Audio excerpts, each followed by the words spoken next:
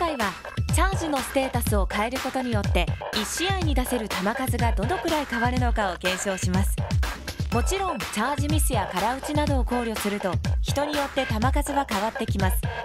今回はその一例として何も避けない状態で80秒間に何発のエナジーボールを打つことができるのかを検証しました。チャージ1では29発。チャージ2では40発。チ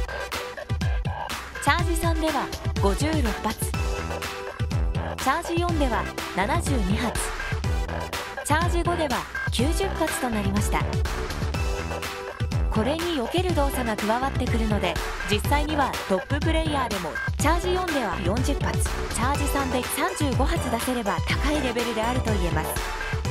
最低でも80秒間で避けながら30発打てるように練習してみましょう。